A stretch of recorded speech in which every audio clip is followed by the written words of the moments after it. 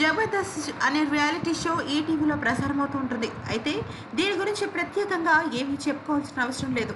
ఇక ప్రజలు ఎంతగా ఆదరించి అభిమానిస్తున్నారంటే దానిలో ఉన్న ప్రతి ఒక్కరూ కూడా ఇప్పుడు నేటి సెలబ్రిటీల కన్నా ఏమాత్రం తక్కువ కాదని చెప్పుకోవచ్చు. అయితే జబర్దస్త్ లాంటి రియాలిటీ షో మొదటగా ఊపందుకోవడానికి ప్రధానమైన కారణం నాగబాబు అని చెప్పుకోవచ్చు.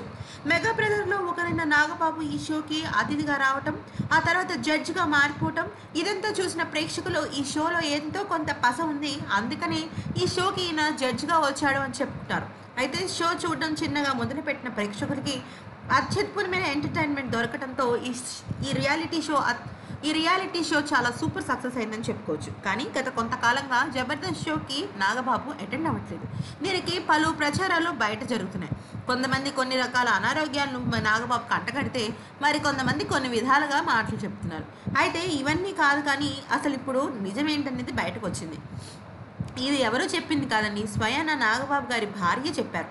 అయితే నాగబాబు గారికి గత కొన్ని రోజులుగా వరుసగా షూటింగ్ షెడ్యూల్స్ ఉన్నాయని దానిలో బాగా అలసిపోవడం వల్ల కొద్దిగా అనారోగ్యం వచ్చిందని అయితే డాక్టర్ల సలహా మేరకు ఆయన బయ కొన్ని రోజుల పాటు రెస్ట్ తీసుకుంటే అన్ని సెట్ అయిపోతుందని అయితే తిరిగి మళ్ళీ ఆయన షూటింగ్స్లోకి అటెండ్ అవుతారని చెప్పారు.